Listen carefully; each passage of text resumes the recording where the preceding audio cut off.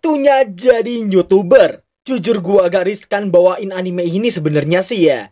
Tapi ya sekalian ngajarin kalian supaya tidak jadi pembuli dan jangan mau kalah dari para pembuli. Makanya gua bakal ngelanjutin anime ini. Tapi kalau udah kuning tentunya bakal gua stop ya guys. Sebelum kita mulai videonya, tolong di push dulu tombol subrek, like, dan aktifin lonceng notifikasi di bawah. Sekalian juga support channel Oniani CH, biar nanti pas WAM 2 nyentuh angka 200 ribu subrek, gua bakal live game di sana. Oh ya, buat yang mau ikut lomba, harusnya siang tadi udah gua upload di tab komunitas. Dan buat yang mau follow gua di sosmed, sikat aja langsung linknya di bawah. So, tanpa berlama-lama lagi, mari kita mulai. Kenka Dokugaku episode kedua.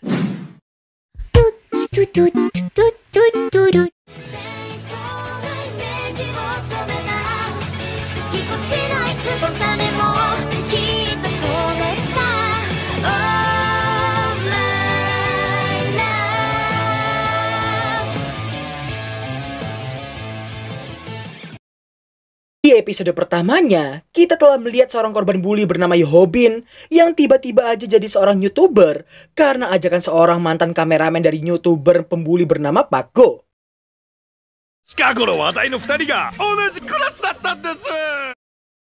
Scene pun berlanjut memperlihatkan Pako yang melakukan hal yang lumrah dilakukan oleh negeri Wakanda.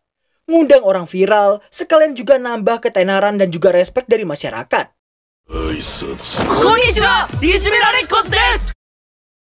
Di saat Jig yang mendesak Hobin untuk cepat melancarkan aksi mereka, Hobin terlihat mencari kesempatan, dan meledak begitu si Pak Go mengumumkan tentang giveaway PC untuk satu orang yang beruntung.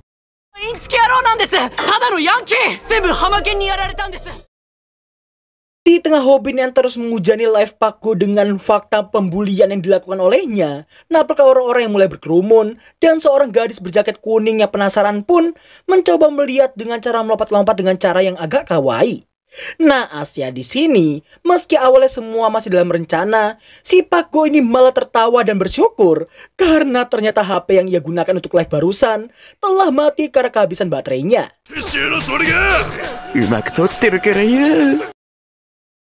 Nice step Jigsai. Di tengah sesi pembulian yang dilakukan oleh Pago Dengan cerdiknya Jigsai telah mengantisipasi hal itu Dan terus menaikkan jumlah view dan subbreaker yang dimiliki oleh mereka berdua. Semua viewer menonton live itu seolah-olah tidak percaya bahwa youtuber sebesar 700 ribu subrek macam Pago adalah sosok pembuli sampah seperti itu. Melihat sorot mata Hobin barusan, di sini Jigsaw dibuat sangat-sangat terkejut karena Hobin yang berani memasang kuda-kuda untuk melawan si Pako. Meski ukuran tubuh mereka berbeda sangat jauh, tapi Hobin tetap pada pendiriannya untuk bangkit dari keterpurukan. Nante minna tamatte miten. Iya, Hobin mengira akan ada orang yang bantu melerai mereka berdua.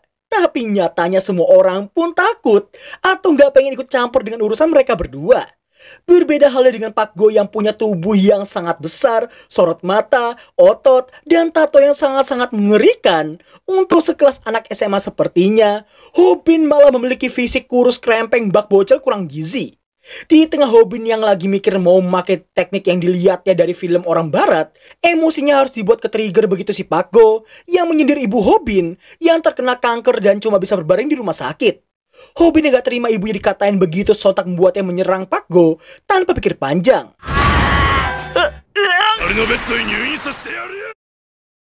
Setelah dibanting sekeras itu, Hobin merasa shock karena perbedaan berat badan akan sangat berpengaruh seperti itu.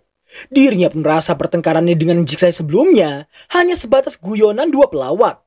Di saat Hobin yang mengira semua telah selesai, sayangnya di sini si Paku belum puas hanya dengan banting Hobin sebanyak satu kali.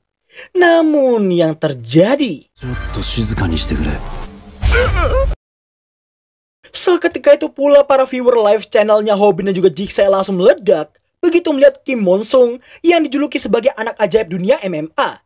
Merasa takut dengan superstar MMA macam Monsung, Paku pun langsung pergi begitu aja. Setelah kondisi kembali tenang, Jigsaw muji betapa kerennya si Hobin tadi. Karena meskipun dia kalah, tapi dirinya tetap mendapatkan beberapa fans yang mengagumi betapa giginya dia tadi. Di malam harinya, Paku yang beroja sampai di rumahnya pun merasa bersyukur karena baterainya siang tadi telah habis. Namun dirinya akan dibuat sangat-sangat shock begitu membaca semua notifikasi yang masuk ke HP-nya. Sementara itu, nampak si Hobin yang sedang mandi dan merasa udah jadi sosok yang sangat-sangat keren. Dengan pose yang seriusan, mubazir banget kalau nggak diulti oleh kita. Dan ya intinya sejak live pembulian itu, hanya dalam beberapa hari saja, konten youtuber sondang 700 ribu subrek macam Pak Go yang ternyata adalah seorang pembuli kini menjadi viral di mana-mana. Nah, di sini kita pun akan diperlihatkan kemungkinan yang terjadi di dunia nyata kita saat ada orang yang melakukan klarifikasi. Dihujani fakta nggak nih? Secara nggak langsung anime ini seperti ingin menunjukkan, ini loh yang mungkin bisa dilakukan oleh seorang konten kreator yang kalian sukai. Sehabis buat masalah, klarifikasi, ngonten lagi, buat masalah, klarifikasi, ngonten lagi, dan mungkin akan terus seperti itu. Namun tentunya the power of netizen gak bisa dibohongin. Kini semua konten Paku dicap sebagai sebuah kebohongan. Dan parahnya lagi, ada salah satu netizen yang bahkan membuatkan situs hitung mundur dari jumlah subrekernya Paku saat ini. Dari yang tadinya 700 ribu subrek, kini tinggal 400 ribuan doang. Singkat cerita, setelah mendapat wejengan dari Jigsaw yang juga memintanya untuk belajar tahan berkelahi selama 3 menitan supaya cuan yang mengalir lebih banyak, nampaklah Hobin yang bingung karena semua tutorial di gulu-gulu ataupun YouTube, semuanya sangat sulit untuk ditiru olehnya.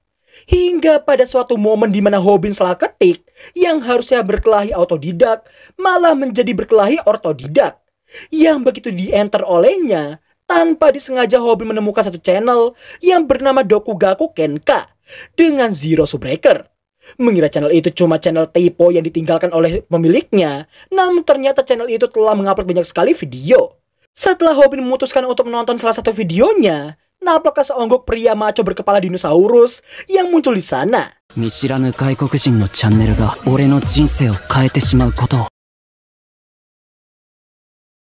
Singkat waktu, Hobin terlihat mendengarkan tutorial dari Samdex kepala bebek dengan seksama. Yang pertama, kalian tidak boleh sekalipun terbawa emosi. Karena jika terbawa emosi, itu bukan melampiaskan tinju kalian, melainkan melampiaskan emosi semata. Dengan kata lain kalian harus tenang supaya bisa menghindar dan memikirkan langkah selanjutnya. Dan jika lawan kalian yang terbawa emosi, maka kalian akan mendapat keuntungan dari perkelahian itu.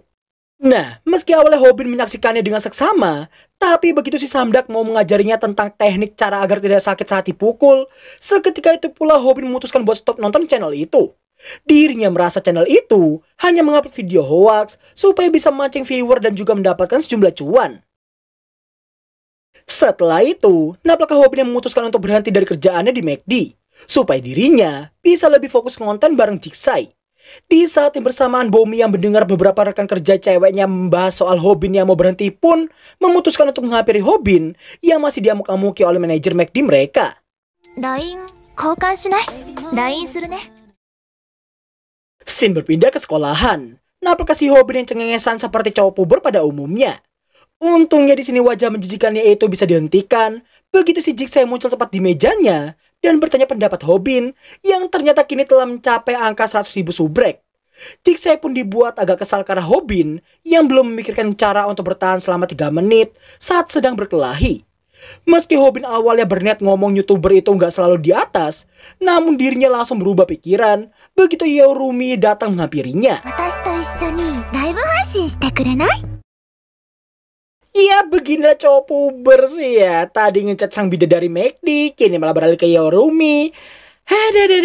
Emang si Aset dan wajahnya bisa dibilang sama-sama kawaii dan juga mantep. Tapi ya... Jigsaw dan Hobin yang awalnya mencurigai Yorumi yang sebelumnya berpihak pada Pakgo, namun mereka langsung diyakinkan bahwa viewernya kini mau dia live bareng si Hobin. Di tengah ketiganya yang masih mengobrol, secara tiba-tiba Paku datang dan meminta pertanggungjawaban Hobin karena telah menghancurkan channel sondang miliknya. Di sinilah Hobin merasa aneh karena ucapan channel Samdak si kepala T-Rex sebelumnya bisa diimplementasikan olehnya saat ini.